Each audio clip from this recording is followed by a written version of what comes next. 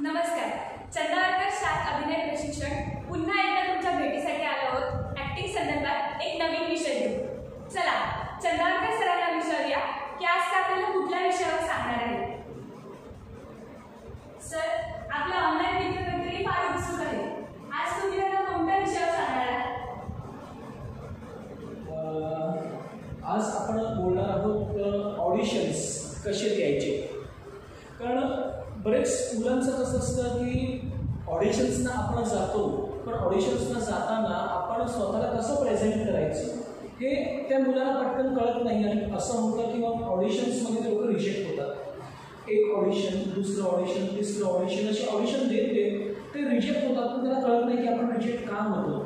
मग ऑडिशन्सला जाते वेळी तुम्ही स्वतःला कसं प्रेझेंट करायचं? हे आज मला सांगायला खूप आवडेल माझ्या ऑनलाईन मित्रमैत्रिणींना. कारण जसे माझे ऑनलाईन मित्रमैत्रिणी उत्सुक असतात की आज आपल्याला सार्क अभिनय प्रशिक्षणातून काय शिकायला मिळणार आहे तसाच किंवा त्याच्याहून जास्त उत्सुक मी असतो की मी आज माझ्या ऑनलाईन मित्रांना मैत्रिणींना काय ॲक्टिंग संदर्भात ज्ञान देऊ शकतो. तर मग चला आपण आज बघूया की ऑडिशन्स देते तुम्हाला नेमकं स्वतःला कसं प्रेझेंट करायचं? तर मग मित्रांनो जेव्हाही आपण ऑडिशनला जातो तेव्हा एक गोष्ट तुम्हाला लक्षात ठेवायची आहे ती म्हणजे तुमचा कॉन्फिडन्स लेवल कॉन्फिडन्स वेगळा आणि ओव्हर कॉन्फिडन्स वेगळा. जर तुम्ही तिकडे ओव्हर कॉन्फिडन्स घेऊन गेलात तर ऑन द स्पॉट कॅमेरासमोर तुम्ही रिजेक्ट होऊन जातो. तुम्ही कॉन्फिडन्स हा खूप महत्त्वाचा असतो. तिकडे गेल्याच्यानंतर आपल्या चेहऱ्यावर भीती किंवा थोडंसं कन्फ्युजन हे दिसलं नाही पाहिजे तिकडे आता जेव्हा ऑडिशन द्यायला तुम्ही कॅमेराच्या समोर उभे राहता तेव्हा उभ्या राहण्याची पोज असते. तुम्ही कसे उभे राहता ते पण खूप महत्त्वाचं असतं तिकडे. कारण तेही काउंट केलं जातं. तिकडे जर तुमचं उभे राहण्याचा पोज अर्थातच मी तुम्हाला दाखवणार आहे कसं उभं राहायचं काय कसं नाही. कसं नाही उभं राहायचं. Do and don't for auditions हे मी तुम्हाला आज सांगणार आहे. तर जेव्हा कॅमेराच्या समोर तुम्ही उभे राहता किंवा एकदम डिसेंटली तुम्हाला उभं राहायचं आहे तुमचं ॲटिट्यूड इगो ओव्हर कॉन्फिडन्स हे सगळं कॅमेऱ्याच्या समोर दाखवू नका. आता आपण वळूया स्क्रिप्टकडे आता स्क्रिप्ट म्हटलं की बरेचसे मुलं मुली घाबरतात. स्क्रिप्ट हातात आले की एवढं मोठं स्क्रिप्ट वाचायचं लक्षात ठेवायचं. हा सगळ्यात पहिला विचार त्यांच्या मनात येतो. तर तिकडे तुम्हाला घाबरायचं नाही आहे स्क्रिप्ट रिडिंगचा एक लेसन एक सेशन असणार आहे. त्याच्यातही तुम्हाला मी सांगणार आहे स्क्रिप्ट कसं वाचायचं आणि कसं तो प्रेझेंट करायचा. आता आपण बोलूया जेव्हा स्क्रिप्ट हातात येते कधी कधी काय होतं की कास्टिंग्स लोकांकडे त्यांची स्वतःची स्क्रिप्ट असते. त्यांना जे हवं आहे डायलॉग तर तो डायलॉग त्या स्क्रिप्टमधून वाचून आपल्याला तो तिथे ऑडिशन द्यावं लागतं.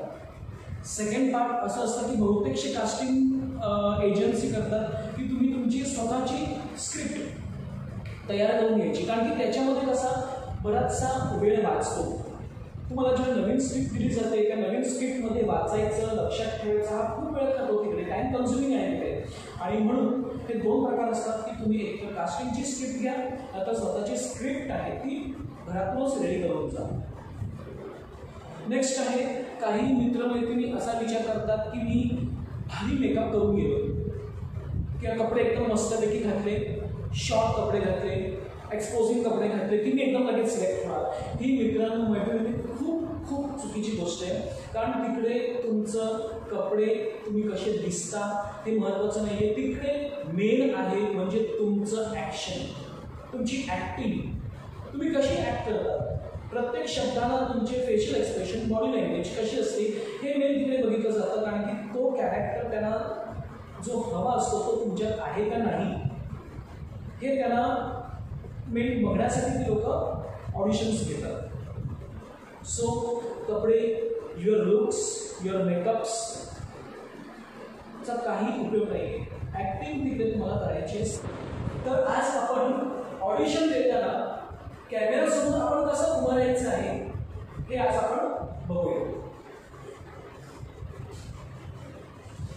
जेव्हाही तुम्ही कॅमेरासमोर उभे राहता तेव्हा तुम्हाला ही पोस्ट अशी दिशा हात ठेवून विथ शोज अ ॲटिट्यूड ही पोस्ट तुम्हाला अजिबात द्यायची नाही. सेकंडली हाताची घडी जिथे घातली बोर्डिंग हँड्स तिकडे आम्ही चोपडी मारतो. तिकडे सिलेक्शन अजिबात होत नाही.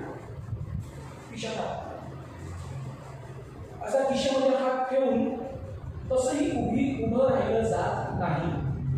एकदम सिंपल डिसेंटली तुम्हाला कॅमेऱ्यासमोर प्रेझेंट करायचंय which is a dispose or else a simple dispose okay तर आज ऑडिशन देताना आपण आपला सेल्फ इंट्रो कसा द्यायचा आहे ते आज आपण यांच्याकडनं बघूया. माझं समृद्धी विनायक आहे. माझं वय सिक्स्टीन प्लस आहे. माझा mobile number nine double two six two three zero three zero three एक मिनिट एक मिनिट. फोन नंबर सांगताना एक गोष्ट लक्षात ठेवायची आहे.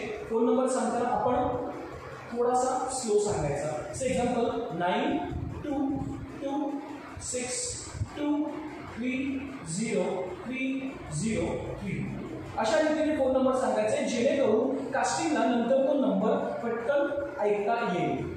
जर फास्ट सांगितलं तर त्याला तो नंबर दोनदा तीनदा चारदा ऐकावा लागतो. म्हणून तुमचा फोन नंबर जो आहे तो सिंपल शॉर्टमध्ये आणि एकदम हळूवारपणे सांगा. आता आपण बघूया ऑडिशन टाईमला तुम्हाला तुमचा प्रोफाईल कसा द्यायचा आहे? How to give your profile for and audition my profile is